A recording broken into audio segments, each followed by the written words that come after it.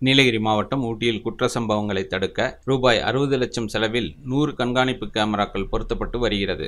சர்வதேச அளவில் புகழ்பெற்ற சுற்றுலா தலமாக ஊட்டி விளங்குகிறது. இங்கு ஆண்டுதோறும் சுமார் முப்பது லட்சத்திற்கும் மேற்பட்ட சுற்றுலா பயணிகள் வந்து செல்கின்றனர். கோடை சீசனுக்கு மட்டும் சுமார் எட்டு லட்சம் பேர் வந்து செல்கின்றனர். இதேபோல் ஊட்டி சுற்றுவட்டார கிராமங்களிலிருந்து பொதுமக்கள் பொருட்கள் வாங்க ஊட்டி நகருக்கு வந்து செல்கிறார்கள். இதனால் ஊட்டியில் வார விடுமுறை பண்டிகை மற்றும் சீசன் காலங்களில் கடும் போக்குவரத்து நெரிசல் ஏற்பட்டு வருகிறது. இதையடுத்து போக்குவரத்தை ஒழுங்குபடுத்தும் வகையிலும் குற்ற சம்பவங்களில் ஈடுபடுவோரை கண்காணிக்கும் வகையிலும் அதிநவீன கண்காணிப்பு கேமரா பொருத்த காவல்துறையால் முடிவு செய்யப்பட்டு கடந்த டிசம்பர் மாதம் ஊட்டி சேரிங் கிராஸ் பஸ் நிலையம் உள்ளிட்ட பகுதிகளில் தொன்னூறு அதிநவீன கண்காணிப்பு கேமராக்கள் பொருத்தப்பட்டது. இந்நிலையில் தற்போது ஊட்டி நகர் முழுவதும் பல்வேறு இடங்களில் கண்காணிப்பு கேமராக்கள் பொருத்தும் பணிகள் கடந்த மாதம் முதல் தொடங்கி தீவிரமாக நடந்து வந்தது. இதை மாவட்ட காவல் கண்காணிப்பாளர் முனைவர் பிரபாகர் அவர்கள் துவக்கி வைத்து பயன்பாட்டுக்கு கொண்டு வந்தார். இதேபோல் ட்ரோன் கேமராவும் பயன்பாட்டுக்கு கொண்டு வரப்பட்டுள்ளது.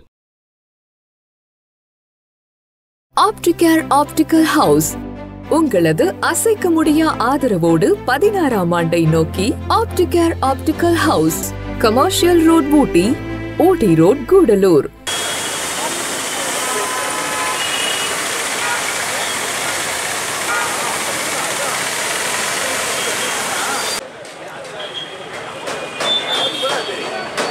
Nilgiri மாவட்டத்தில் கோடை விழா வந்து ஆரம்பிக்க போகுது.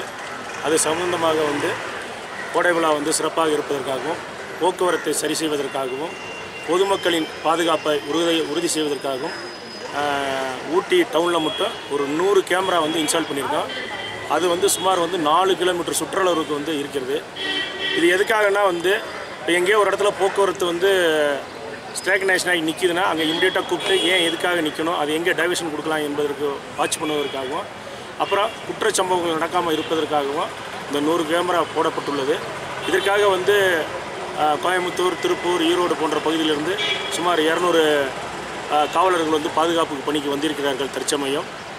மேலே மேலும் வந்து ஃப்ளோர் ஷோ நடக்கிறப்ப இன்னும் கூடுதலாக பாதுகாப்பு பணியில் ஈடுபடுவதற்கு வந்து போலீஸார் வந்து நியமிக்கப்படுவார் என்பதை தெரிவித்துக் கொள்கிறேன்.